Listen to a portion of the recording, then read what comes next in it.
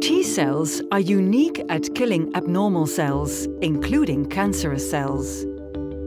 However, these cells can evade detection. We can take a person's own T cells and use genetic engineering to create a living drug that can recognize and kill their specific tumor. Known as CAR-Ts, these cell therapies are delivering clinical benefit to patients with some blood cancers and show promise in autoimmune diseases such as lupus, as well as solid tumors. This is just the beginning. With huge engineering potential, we can build better T cells that more precisely seek out and destroy disease, recognize multiple targets, are scalable, and remain in the body for longer with lasting effect.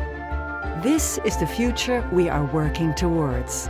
The opportunity is now.